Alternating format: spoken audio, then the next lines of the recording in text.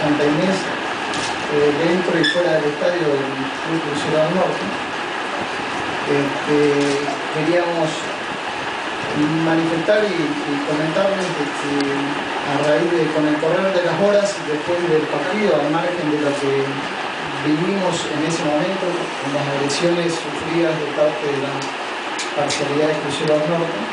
eh, fuimos tomando conocimiento de que hubieron muchísimos casos de agresiones y ayer en la reunión eh, semanal de comisión directiva eh, tuvimos la presencia de numerosas personas que fueron inclusive lesionadas dentro del estadio y también el conocimiento que fuimos tomando respecto a, 100 personas detenidas que hubo el día domingo después del partido y quedaron detenidas en la seccional décimo cuarta. Eh, bueno, en primer lugar